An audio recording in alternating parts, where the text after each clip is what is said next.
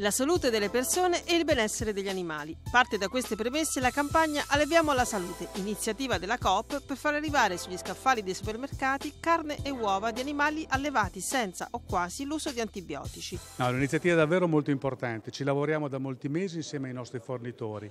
Si tratta di allevare gli animali da reddito utilizzando sempre meno antibiotici, anche zero antibiotici, perché in questo modo si riesce a ridurre la quantità di antibiotici che sono in circolo e quindi a combattere il fenomeno dell'antibiotico resistenza che dà molti problemi alle persone e dicono tutte le autorità mondiali in termini di sanità può produrre molti danni nel giro dei prossimi anni. L'utilizzo eccessivo e inappropriato degli antibiotici facilita lo sviluppo di batteri resistenti e ne limita l'efficacia, tanto che studi scientifici stimano un aumento della mortalità nel mondo dalle attuali 700.000 a 10 milioni di persone nel 2050. L'impegno di COP coinvolgerà 1600 allevamenti in Italia.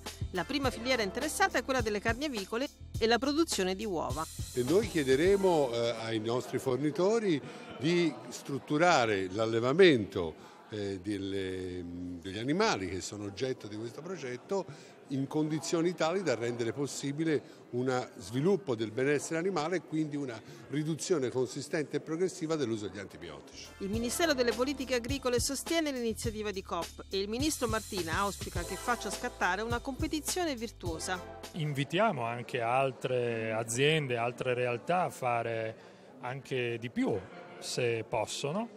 Il tema del benessere animale è cruciale sarà sempre più un tema fondamentale anche di relazione con il cittadino consumatore, che si aprano progetti, sperimentazioni forti di ambito nazionale come ha fatto COP qui è molto rilevante.